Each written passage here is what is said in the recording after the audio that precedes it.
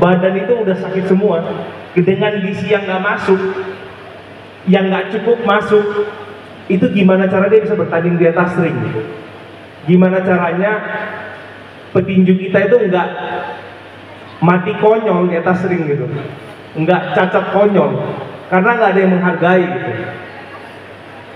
Barusan ini saya dikabarin minggu lalu salah satu petinju kita yang seharusnya bakal naik ring di HSS kelima itu sekarang dalam keadaan koma. Karena mungkin saya juga nggak tahu ya kekurangan biaya atau apa jadi saya diceritain siangnya itu dia harus kerja. Siang dia kerja jadi dia persiapannya itu malam. Jadi terus dilakukan setiap hari. Sampai menjelang HSS kelima minggu di hari minggu ini.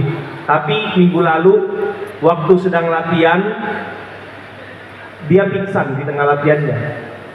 Pingsan dibawa ke rumah sakit katanya pembuluh darah otaknya otaknya pecah. Pecah dan harus langsung dioperasi. Sekarang katanya udah keadaannya puji Tuhan katanya udah membaik. Udah mulai sadar. Tapi bayangin